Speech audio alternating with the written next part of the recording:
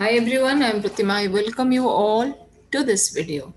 So today there is another tutorial in GeoGebra how to plot graphs or how to show graphing the functions or to draw the graph of a functions using GeoGebra.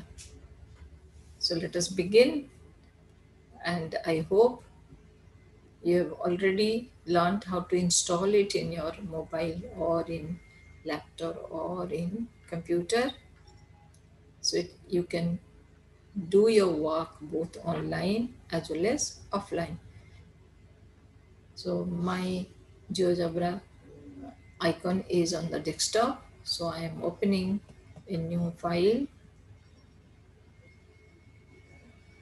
And today I'll work with graphics so no need of deleting the graphics. Only little bit I'll move this graphics view to my right side so that I'll get a clear picture.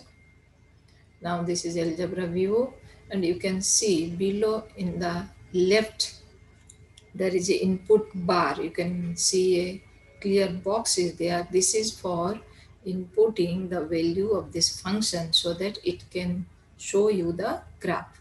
If it is not visible in your page or your file, that means this input bar is unchecked. So for that you go to view, then go to input bar. See that it should be checked. Now you can see if I am unchecking, there is no white bar here if I'll check again check it will show you the bar so I'll draw the graph of this function. You know that uh, y is equal to x square y is equal to x. And I am talking about in class 11 there are functions and graph of some common functions. So first I'm going for fx is equal to x, which is an identity function. So I'm naming it, I'm writing your f x within bracket as we write is equal to x. So immediately it is showing that fx is equal to x. But after typing press enter, then you can see the graph name of the function here I'm little bit making it bigger so that it will be clear. I'm writing font size as 16. So fx is equal to x and this is the graph. And I want to, I want that the, the name of the graph will be shown here. So I'll go for object properties. Then here I want to be shown name and value so this is the name and value, then cross it. So automatically it is showing in below. So you can shift it. fx is equal to x. Now thing very interesting thing when you will uncheck it, see the graph gone.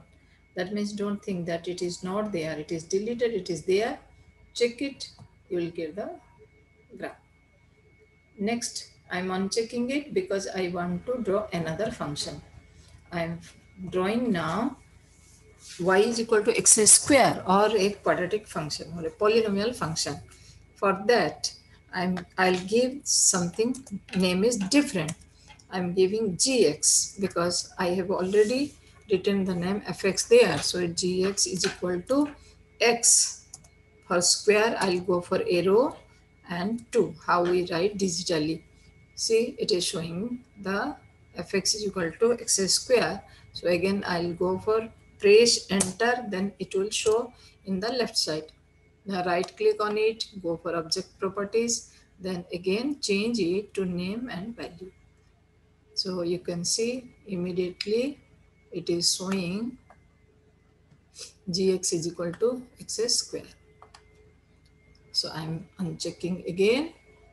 Next I'll go for cubic function h x is equal to x to the power 3 x power power is arrow shift with arrow that 3 this is fx is equal to 3 you can see very interestingly it is showing different different colors.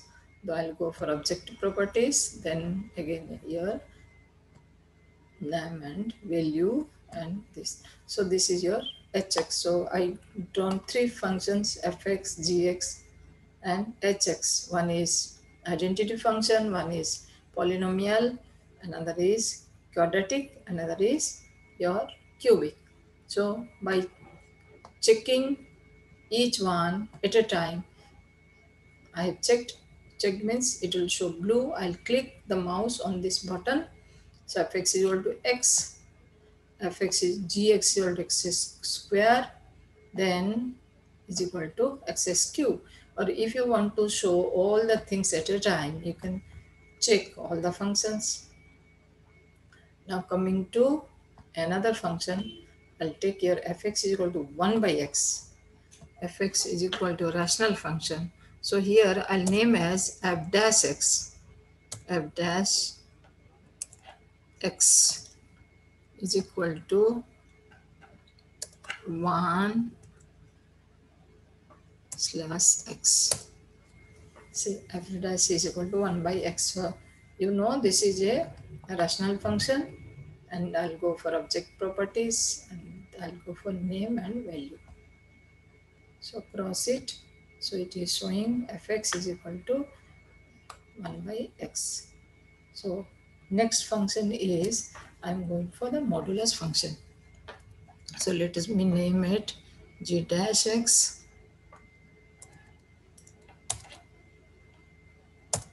is equal to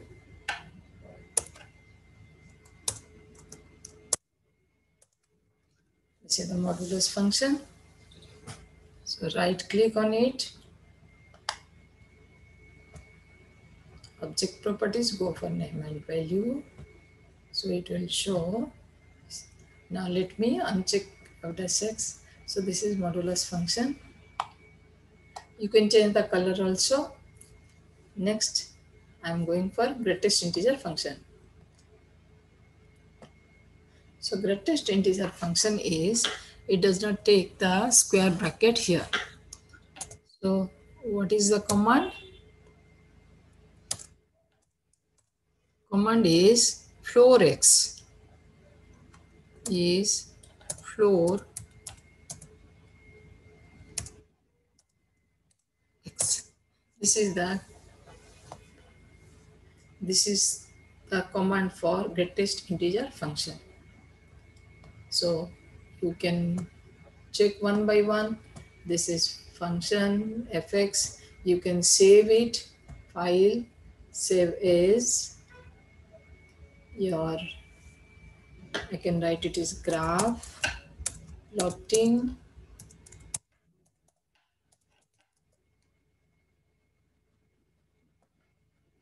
in the desktop only I have saved it. It is showing nothing. So one by one, you can show to the children and from the graph, you can teach many things. You can teach what is the domain and range of the function. One by one, you can go. So similarly, you can draw the trigonometric functions also. They are little bit, you have to change the axis. So I hope it is a very useful tool for mathematics teacher because we are nothing without the graph. So thank you for watching. I hope it is a very interesting one. So you can show your children or if you don't find draw yourself, you can comment in the box, box so that I can share my app. Thank you. Thank you and have a nice time.